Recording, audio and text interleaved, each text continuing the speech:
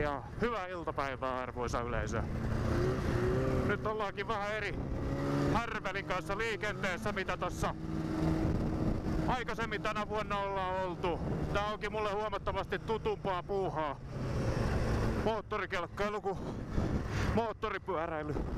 Nää Saariselän reitit on yleensä aivan helvetin hienossa kunnossa ja ihan tästä keskustan tuntumastakin löytää jo niin paljon hyvää reittiä, että ennen kuin nämä reitit tulee jokseenkin tutuksi upotettua monta päivää.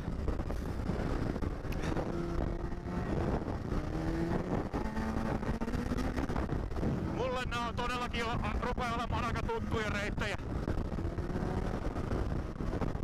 Jos mä 17 vuotta oon täällä ajellut kohta, niin ja vähintään kerran vuodessa viikon tai sitten vähintään kaksi kertaa vuodessa kaksi päivää, niin on tuttua reitistöä ja puuhaa. Mutta kyllä tää sitten hereillä täytyy aina olla. Ei sitä joka mutkaa muista eikä niihin uskalla sokkona mennä, koska silloin kun täällä ajelee rajoitusten mukaan 60 reittiä ja joku toinen tulee mutkasta 60 samaan tai vastakkaiseen suuntaan, niin siinä ei ole kauheasti aikaa reagoida, että kyllä täällä täytyy niinku oikeasti ottaa muut huomioon myös. Sitten kun on vähän sopivaa suoraan auki, niin antaa kaasua vaan. Tuosta mitäs kiilo päälle, mutta mä menen tuolta toi 19,9 niin takaisin Saariselälle. Täällä on todella hienosti merkattu nämä reitit. Että täällä ei niinku, joka risteyksessä on tosi informatiiviset taulut ja netistäkin löytää vielä kunnolla noita reittikarttoja. Et täällä ei eksy.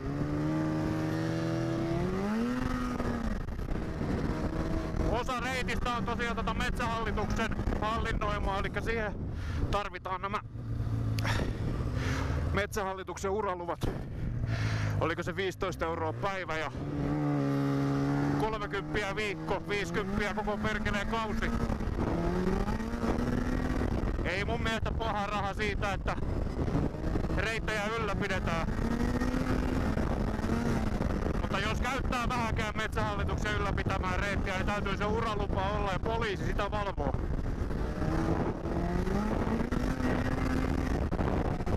Mä niin tykkään tällä Saariselällä nämä reitit on upeita ja ne on tosi tämmösiä niinku aloittelijaystävällisiä reittejä.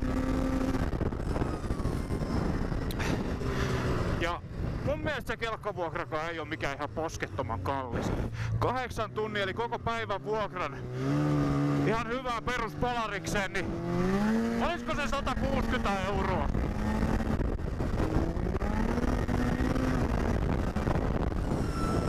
Ja bensaa menee ehkä kolmella kympillä. Sillä kiertää koko päivän re- leikin tuolta Inariin ja Hammastunturi erämaa vierestä sieltä kautta takaisin semmosen ympyrän, ettei tarvii edes ajella edes takaisin. Parissa meikäläisen videossa se lenkki tehdään, että kannattaa tsekata noita vanhoja kelkkavideoita. Niissä on vähän enemmän muunlaista settiä, kun siinä, niissä tosiaan tää mun mikki ei ole vielä mukana.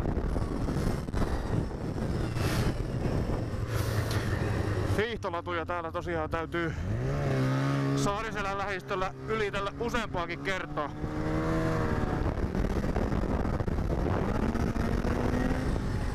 Tämähän on Saariselkä tunnettu eniten murtomaahiihtopaikkana jo. Mitä täällä on tässä ihan Saariselän välittömässä ympäristössä, niin onko se 250 kilometriä hoidettua latua? Se on aika paljon. Kyllä tätä kelkkareittiäkin täällä piisaa siis ihan tolkuttomasti. Äkkiä mä heittäisin, että ei mun kovin montaa kertaa samaa pätkää tarvi mennä, että mä saan viikon aikana tässä tussautettua 500 kilometriä näitä lenkkejä. Toki se sisältää sitten se parin sadan kilometrin koukun tuolta Inarista. Ja vittu, täällähän ei ole mikään rajana. Hienosti täältä pääsee Norjaan saakka, jäämerelle. Mut sinne onkin sitten vähän pitempi, että se ei ole välttämättä, se ei todellakaan siis ole yhden päivän reissuja, että semmonen on joskus haaveena tehdä, mutta en ole vielä saanut ketään kaveria innostumaan ihan niin isosta jutusta kuin yleensä semmoselle, kenelle kelkkailu on uutta, niin se 200 kilometrin päivä touhu, niin sen tuntee kolme päivää sen jälkeen. No, tässähän on tämä kaksi lautta se mesta, missä niitä lasiiklua ynnä muuta. Jonkin verran ollut vähän negatiivista julkisuutta tässä lähiaikoina mediassa tästä paikasta. Ei ole itsellä kokemusta, mutta tää onkin mesta suuntaa ulkomaisille turisteille. Ja tietysti tuolta lähtee safareita tuolta. Tää voi olla vähän huonossa kuosissa, kyllähän täällä jokin verran turisteja tälläkin hetkellä silti on, vaikka korona-ajat onkin. Joo, tää on nyt siinä kunnossa, mihin noi kelkkasafarit nää reitit saa, että se on sitten tämmöstä. Ei miellyttävää. Tai eikä se tulla vähän paremmaksi muutu. Mitä pahimmillaan näillä saariselän reiteillä tää voi olla, koska silloin kun on paljon kelkkasafareita, niin nää menee tällaiseksi. Mutta ei. Se on se on sen hinta, että nämä mestat on täm, näin hyviä ja on näitä reittejä niin edelleen. Mutta näähän käydään kissoilla nämä leveet. Lumikissoilla. Kyllä näitä ylläpidetäänkin. Ja kuka sen muu maksaisi kuin noi ulkomaan turistit, jotka tulee niille 20 kelkan safareille. Aivan loistavassa kunnossa tää reiti täältä. Ei tätä on vedetty ihan lanattu tonne loppuun asti. Ja sit näistä mistä näitä ylläpidetään, niin nää on niinku iloa ajoa. Ei oo montaa päivää kyllä kun tää on lanattu. Tää on nyt vähän tämmönen lämmittely ja testilenkki. On kaverin kelkka. Kävin hakemassa tän, kaveri oli tossa edellisviikolla täällä mun mökillä ja jätti mulle tän kelkan tänne. Tää kävi kytkin remontissa, kun kytkin antautui, niin kävin hakemassa tätä tänään Ivalosta samalla kun käytiin kaupassa. Ekoa päivää siis kohteessa nyt. Hyvin tuntus uusi kytkin pelittävä. Mä oon tässä aikaisempina vuosina, viime vuonna mulla oli vuosi sitten tää sama kelkka samalla systeemillä. Siitä löytyy videota tuolta. Toki on aika kätevä systeemi silleen, ettei tarvi etelästä roudata. Kaveri roudaa kelkan tänne ja mä vien pois, niin saa toiseen suuntaan mennä ilman peräkärryä perässä. Mullahan oli omakin kelkka pitkän aikaa IQ600 Polaris. Mutta kun noita talvet rupes tuolla etelässä olemaan sitä ja tätä, rupes kyllästyttää sen roudaaminen aina tänne viikoksi tai viikoksi kerrallaan kaksi kertaa vuodessa, niin mä oon mennyt nyt sitten vuokrakelkoilla ja nyt onneksi tällä kaverin lainakelkalla. Ja sitten siinä oli yleensä se, että tuossa loppuvaiheessa, kun sillä rupesi olemaan ikää ja mun ajotyyli on kuitenkin aika kelkkoja kuluttava, niin rupes paikat hajoa, se oli oikein miellyttävää tuoda se kelkka tänne viikoksi ja ekana päivänä paskana ja sitten roudaat sitä etelään ja korjaat. Niin mä oon todennut, että se oli fiksumpaa ottaa vuokrakelkkoja, kun jos se hajoaa tonne mettään, niin tuodaan varakelkka ja se ei ole omasta pussista pois, ellei sitten aja sitä jonnekin pöpelikköön. Mutta jos hajoaa niinku omia aikaa, niin kuin kelkoilla on tapana. Nyt ollaan siis todellakin maaliskuussa 2021. Täyttä korona-aikaa, ravintolat ja baarit on kiinni ainoa missä nyt tullut, käytiin jo niin tänä ekana päivänä hakemassa tätä kelkkoa Ivalosta ja ruokatarpeet sitten kerralla sieltä kaupasta. Ei tarvi enää mennä. Mökiltä sitten moottorikelkkoilua, läskipyöräilyä ja hiihtämistä koko perkeleen viikko. Vittu, että tulee kivaa. Helvetin hienosti tää kelkka toimii. Tää on Polariksen SKX 700. Tää jotain vuosimallia 99 tai 98? Ja suoraan sanottuna tää toimii melkein paremmin kuin se 600 IQ 08 mikä mulla oli. Kaveri tällä hetkellä se pääsi lähtemään vasta tänä aamuna. Me tultiin jo eilen ehtoolla perille, niin hän tulee tänne ja tänään lämmitellään saunaa ja sitten käydään vuokraamassa tai hän käy vuokraamassa kelka jossain välissä. Ja sitten lähdetään joku pitempi retki tekemään. Todennäköisesti Ukon kivelle taas. Katsotaan mitä saadaan aikaiseksi tai mihin suuntaan lähdetään. Täällähän on vaihtoehtoja noille pitkillekin reiteille paljon. Ja mä en juurikaan tonne reittien ulkopuolelle lähde hyppimään. Tää reittiajo on helvetin hauskaa ja näin ja plus mä oon täällä yksin liikenteessä, niin mua ei kiinnosta. Tai jos en oo yksin, niin sit mä oon semmosen kanssa, kenellä ei oo niin paljon kokemusta, niin ei kiinnosta repiä kelkkoja ihan kauheesti tuolta metiköstä ylös. Tosta videopätkästä vuoden takaa näkee millaisia käy silloin kun sinne menee somppanemaan eikä tiedä mitä tekee. Se on vaan niin upeeta. Moottoripyöräilystä mä oon nyt tykättynyt siihen hommaan ihan todella paljon, mutta kyllä täytyy sanoa silti, että kyllä tää enemmän on se mun intohimo. Tätä pääsee vaan niin harvoin tekemään, että se moottoripyörä kutittaa noita kiveksiä silleen sopivasti oikeasta kohdasta silloin kun silloin kun tota ei pääse kelkkailemaan. Sieltä tulee lisää kelkkaa vastaan. Sopivasti stoppikohta.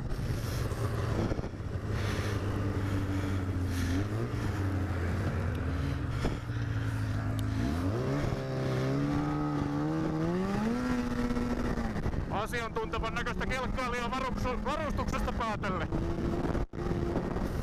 Joku täytyy silti ottaa pikkasen easy mitä vehkeen kanssa. Tää on todellakin kaverin kelkka ja en mä halua ajoittaa tätä. Tää on hyvin huollettu. Kaveri sanoi justiinsa, että kaikki muut kuluvat osat tähän olikin jo vaihdettu, paitsi ihan lähiaikoina siis. Paitsi toi kytki, mikä sitten leipas sitten hänen reissunsa ihan loppumetrillä. Mutta vituttaa se aina kun kelkka joo.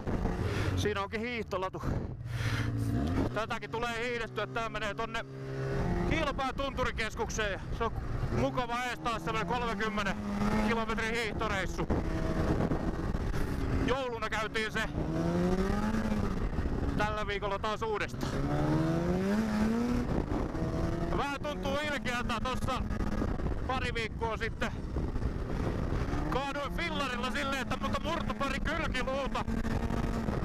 Vähän vielä pihottelee, mutta ei anneta se häiritä menoa.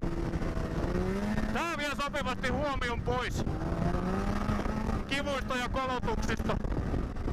Ja hoidetaan ne sit mitä tässä tulee niin tuolla saunan lauteella kaljan jaloviinavoimi.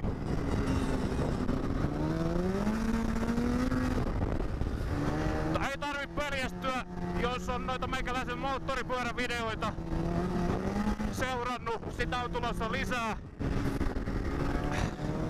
Hypätään takas Lappiin, mutta kesälle mulla on siellä nyt niinku ne parhaat pätkät vasta työn alla.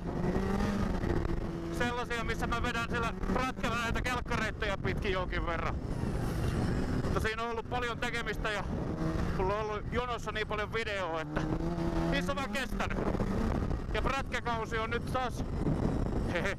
Niin, no mulla on se jatkunut ympäri vuoden, mutta... Sanotaan näin, että kesäkausi on alkamassa juuri etelässä, niin...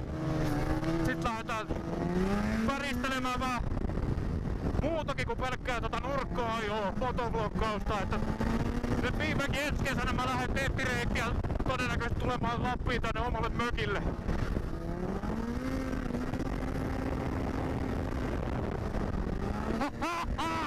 Saatana, että!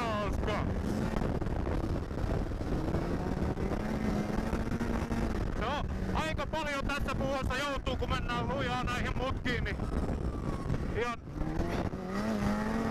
painoa käyttää hyödyksi, että niistä päästään menemään, ettei mennä suoriksi.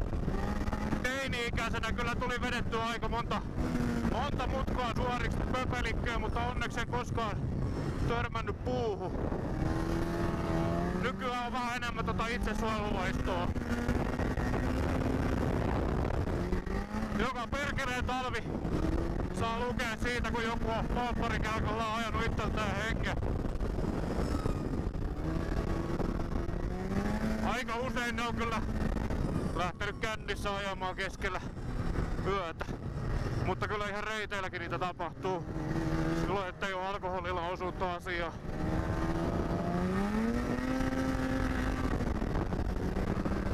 Niin tulee pidettyä semmonen asia kyllä mielestä tänä päivänä. Ei se siinä alle 20 ollut kauheasti mielessä, mutta yli 30 se rupeaa vähän ajatuttamaan.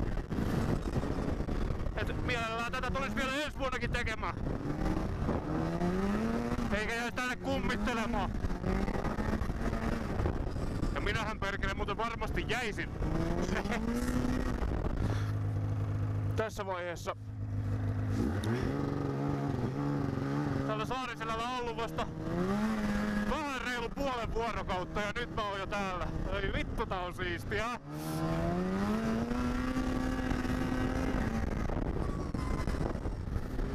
On välillä nää Saariselän lähimmät ihan tässä keskustan lähellä nää kelkkareitit semmosia, missä täytyy olla oikein saatana tarkkana, kun täällä saattaa kävellä ulkomaan turisteja ihan keskellä. Ja jumalauta ilman heijastimia pimeälläkin.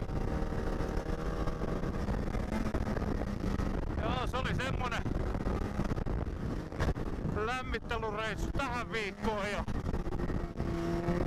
kalustotestaus, että tää kelkka varmasti on kunnossa ja siltähän se tuntuu, että kunnossa on, vaikka ei onkin vähän puolikuntoinen noiden kylkiluitteensa kanssa.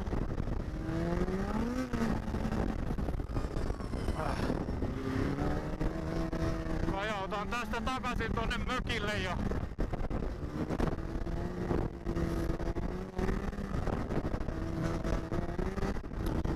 Katsotaan, jos lämmittelis saunaa.